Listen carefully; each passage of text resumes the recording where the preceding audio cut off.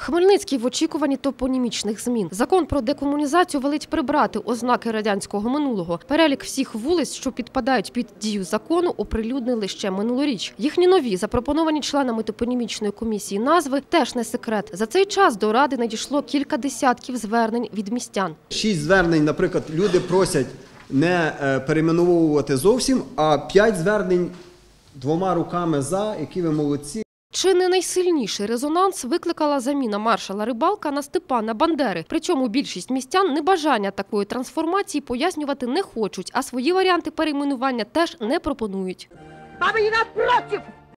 Хмельничанам варто знати, вулиці, названі на честь радянських діячів, перейменують у будь-якому випадку, тому що це вимога закону України про декомунізацію. Тож вже найближчим часом зникнуть, зокрема, такі назви вулиць, як Чапаєва, Чкалова, Будьоного, Васяніна тощо. Втім, у більшості звернень до міськради жителі говорять про те, що наче й не проти нових назв, але за умови вулиці перейменують так, як вони хочуть. Я е, підтримую цих людей, тому що їм жити на цій вулиці.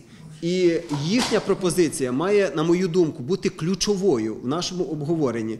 Хмельничани прагнуть до нейтральності. Замість імен історичних діячів хочуть назв на кшталт вулиця Тіниста, Сонячна, Джерельна, Радісна. Зокрема, за бажанням громади, замість Чорса у мікрорайоні Ракове буде вулиця не Дмитра Почарового, а спортивна. Замість Раскової у Дубове не митрополита Шептицького, а Ранкова. Але все ж більшість вулиць перейменують на честь відомих особистостей. А якщо раптом хтось про щось не обізнаний, Вийди на вулицю, спитайся, хто такий Стецько?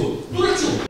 У Хмельницькому намагатимуться заповнити цей пробіл знань. Вулиця Ярослава Стецька. Якщо вулиця названа в честь якогось діяча культурного, літературного, історичного і так далі, от поки пояснити, в честь кого названа саме на першому номері е, вулиці першого будинку на табличці і на останньому. І це все це зніме всі питання.